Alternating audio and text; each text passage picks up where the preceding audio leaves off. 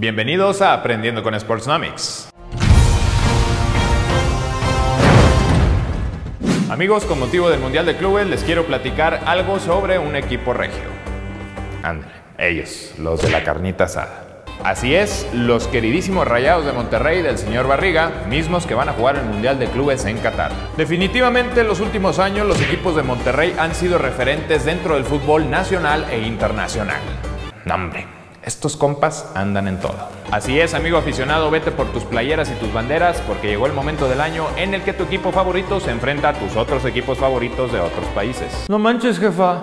Va a jugar mis rayados de mi alma contra mi Liverpool de mi corazón. La carnita. Perdón.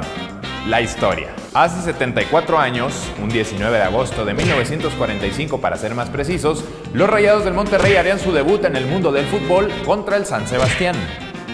Nadie sabe quién es el San Sebastián. De aquí se desencadenaría una historia que lo llevaría a ser uno de los equipos más rentables de todo el fútbol latinoamericano. Tras una década de caminar entre piedras y echar el ímpetu regiomontano, el equipo logra ascender en 1954 al máximo circuito del fútbol mexicano, o sea, la primera división.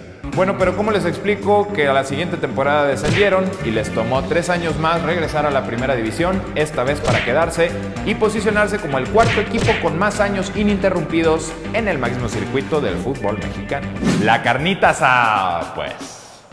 Los resultados. Referente a su participación en el fútbol mexicano, estos compadres han ganado cuatro veces el título de liga y no tengo ahorita los datos ni las pruebas a la mano, pero de seguro festejaron con una carnita asada. Y en cuanto a títulos internacionales, estos chavalones han ganado cuatro veces la Liga de Campeones de la CONCACAF, lo que nos lleva a hablar del Mundial de Clubes. Los Rayados han participado tres veces en el Mundial de Clubes, mismos a los que calificaron en forma consecutiva en 2011, 2012 y 2013. Este año se preparan para su cuarta participación, donde debutan el 14 de diciembre en Qatar. En dos ocasiones mis rayados se han quedado con el quinto lugar del certamen, en 2011 y 2013 cuando fueron eliminados en la ronda de cuartos de final por el equipo nipón Kashawi Reysol y el Al-Ali de Egipto. Al-Ali significa el nacional. Dato curioso. La carne... Ah, qué la frega.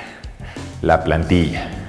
Sabemos que el mejor fútbol de la CONCACAF se da en el norte de la República Mexicana, más específicamente en la ciudad de Monterrey, donde destacan dos de los mejores equipos de la zona, mis Rayados y mis Tigres. En esta ocasión, el destino nos enfrentó esta vez en la final de la CONCA Champions, y en mi casa y con mi gente los derrotamos para pasar al Mundial de Clubes. Pero eso de dominar al fútbol no es de gratis, mis chavos. Las fuertes sumas de billete han estado presentes para construir a esta plantilla. Con un valor de 92.7 millones de dólares, la plantilla de los Rayados del Monterrey es la más cara del fútbol mexicano. Se compone de 25 jugadores, de los cuales 12 son extranjeros. Sus jugadores más caros son el mexicano rey del baile y movimiento de caderas Rodolfo Pizarro y el argentino Maximiliano Mesa, ambos con un valor de 11 millones de dólares. ¿Cuánto vales tú?